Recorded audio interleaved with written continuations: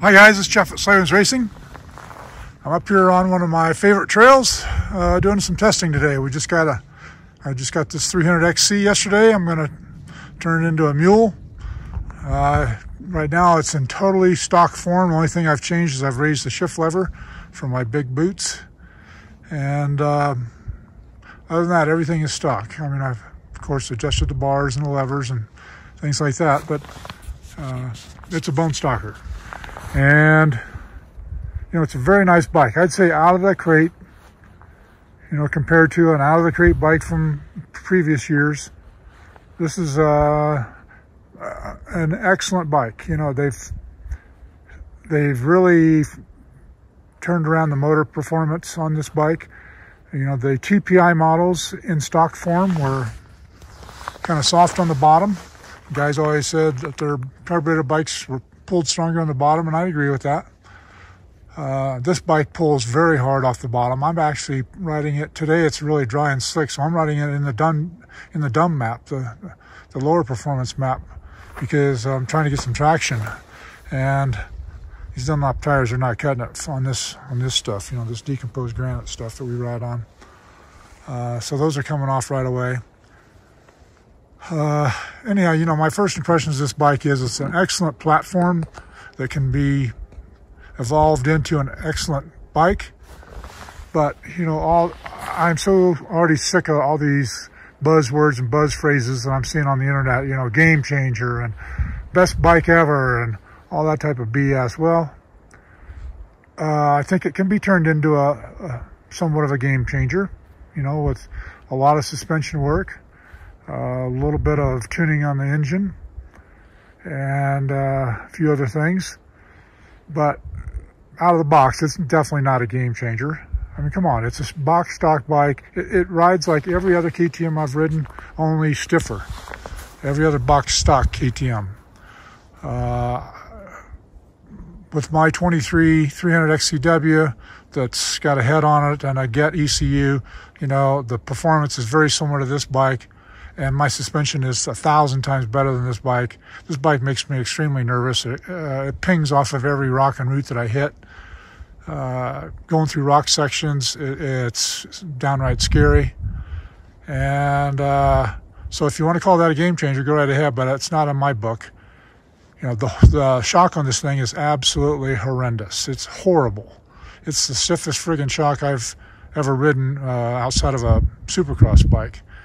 I mean, it, it just will drive that seat right up your butt. I mean, it, it is not compliant whatsoever. Um, you know, I've seen the magazine articles and other videos guys have been putting online saying how it handles great and it's stable and it more planted in the front.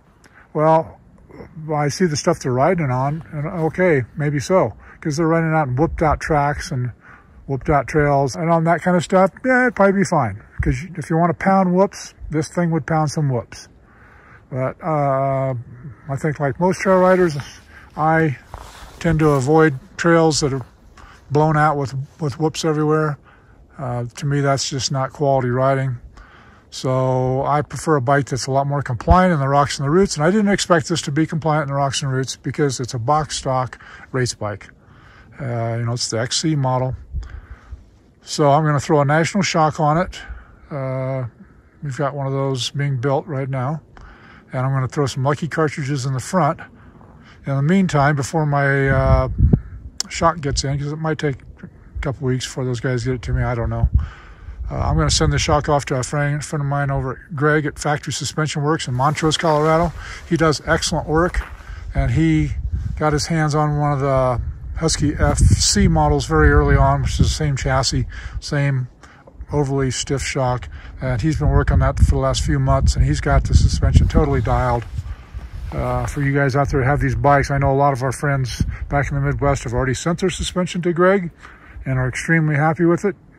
Uh, for me, this bike is almost unrideable, rideable, unrideable in, in the gnarly rock sections. I mean, you don't know which way it's going to go. It, it, goes everywhere except for straight, I can tell you that. Uh, it's definitely not a comforting feel uh, or confidence inspiring feel. But so I'll get that off to, to Greg, the shock, uh, and then when my national shock comes in, I'll put that on. In the meantime, I'm also going to change the forks over to the springs with the Lucky conversion kit. Uh, the front end is better than years past, this air fork, but it's still way too harsh in the rocks and the roots. You know, it uh, it's not bad over small roots, but the bigger roots, through it will give you a jolt and send you send you packing off the trail. So, uh, guys, that's my first impressions on this bike. You know, it's absolutely beautiful looking bike. I, I like the new graphics. I know some of you guys are going to whine about the purple over here, but I kind of like it. I like the orange seat. And actually, that's the most comfortable box stock KTM seat I think I've ever ridden. It doesn't quite feel like a it's made out of concrete like the previous years. Uh, the gearing is definitely too tall for what I'll be doing on the night uh, gnarly trails, but I expected that. You it's an XC model. It's it's a, it's not intended for super gnarly trails. It's a race bike.